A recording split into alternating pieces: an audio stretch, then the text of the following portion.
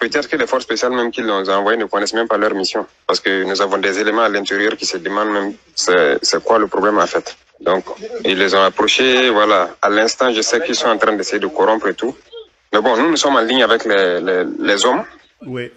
Et, et, nous savons tout ce qui se passe. Donc, on leur dit seulement, voilà, faut pas rentrer dans le jeu. Et peut-être, voilà, je sais que dans d'autres corps aussi, voilà, j'ai été contacté par des soldats qui se demandent qu'on les ait rassemblés pour aller à Ouagadougou et ils espèrent que c'est pour venir me soutenir. Mais là où je suis au courant, je dis oui, je suis au courant que votre chef de corps va me soutenir.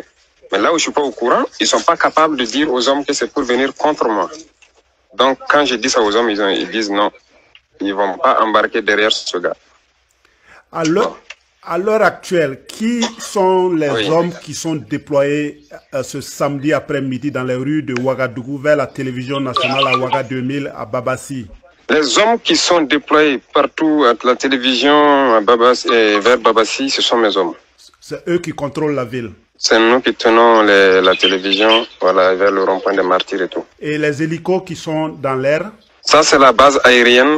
Donc, euh, parce que le commandant de l'escadron d'hélicoptères, donc euh, voilà, j'ai essayé même de communiquer avec lui quand j'ai vu décoller les hélicos pour comprendre euh, la logique, mais il n'a pas décroché. Mais j'ai décidé de m'abstenir d'abattre un hélicoptère parce que ça doit nous servir à faire le reste du combat. Ouais. Ce n'est pas le moment de passer à cette escalade. Alors, il y a beaucoup qui sont inquiets et qui disent que des forces burkinabées vont se rentrer dedans. Quel appel vous avez à lancer? Ce que je peux dire, c'est que le combat que nous nous menons, ce n'est pas une question de pouvoir. Et quand nous venions, ce n'est pas une question de, de blesser ou encore moins tuer quelqu'un. Si nous voulions, à cinq minutes de combat, nous avions pris, et peut-être qu'il serait mort, le président.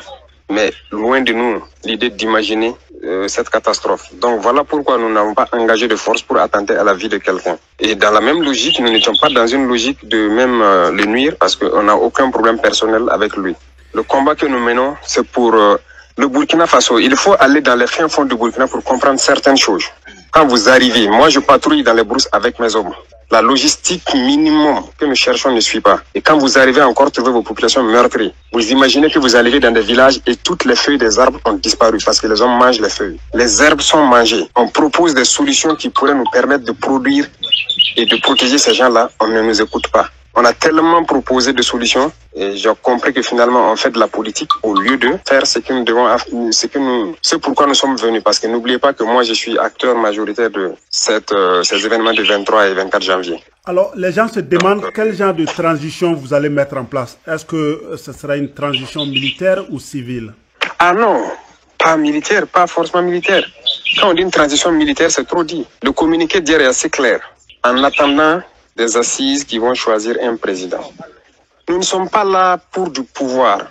Et comme je l'ai dit, je suis dans mon gilet, dans mon casque. L'idée même, c'était d'être demain de descendre quelque part avec les mêmes hommes qui m'ont suivi pour faire un nettoyage. Donc l'idée n'est pas le pouvoir. Ça ne nous intéresse pas, ça. Ça empêche de, de vivre tranquillement, si je peux dire, en fait.